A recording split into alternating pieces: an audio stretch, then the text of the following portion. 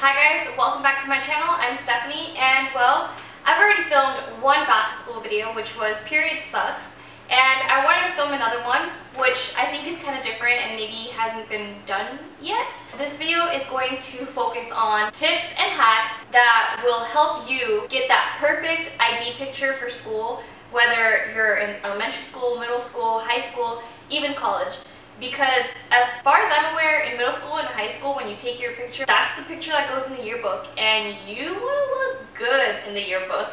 And well, for college, that's pretty much the picture you use while you're there all four years, and this even can apply for your driver's license. So if you guys want to see what tips and hacks I have, please stick around, and let's get started.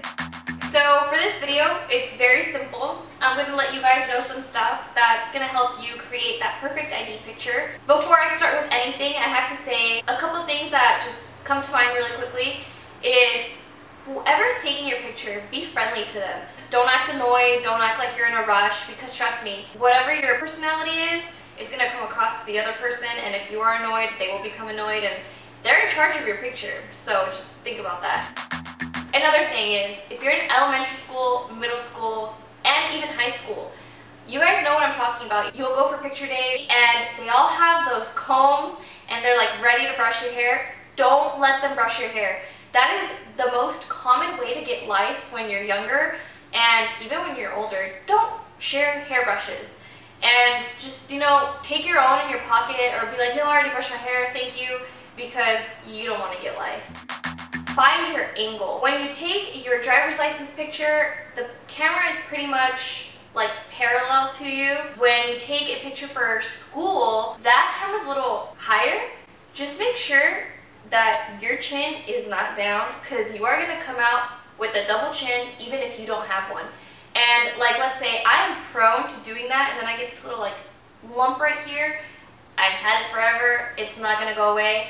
So always put your chin up higher not like this, because then people are going to be looking up your nose. But find your angle where your face looks, you know, fine. And well, if you don't mind the double chin, then go for it.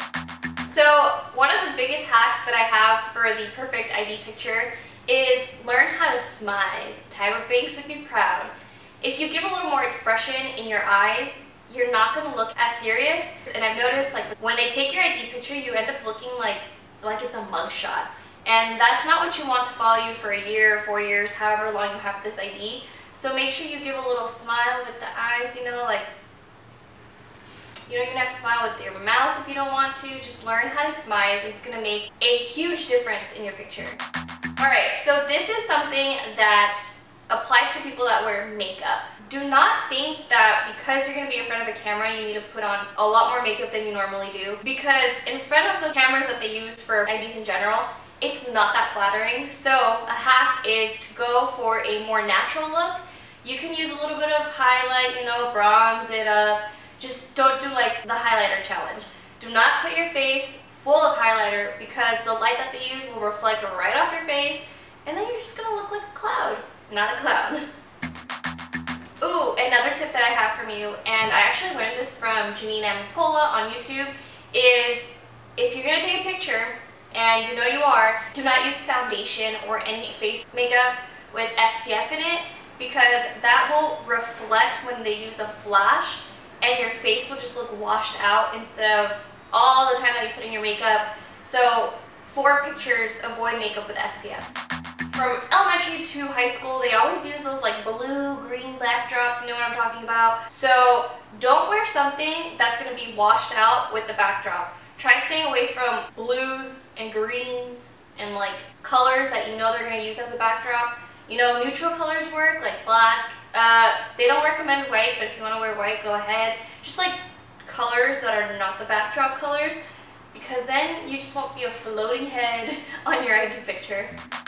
Make sure that you know what you're going to do with your hair. Don't try, well I mean you could try if you want to, but don't go for something super drastic the night before that you've never experimented with. Experiment a couple days beforehand. If it works, do it for your ID picture. Just be careful what you do to your hair. So I hope that you guys enjoyed this video. These are just some tips and hacks on how to obtain the perfect ID picture for school or the perfect picture for the yearbook. If you guys like this video, please give this video a huge thumbs up. Please follow me on Instagram and Twitter where I am most active. And I created a second channel, guys, so if you haven't subscribed to that yet, it will be in the down bar. And let me know what you guys think. I'm between everyday stuff and stuff on the go. With that being said, thank you very much, and I'll see you guys next time. Bye.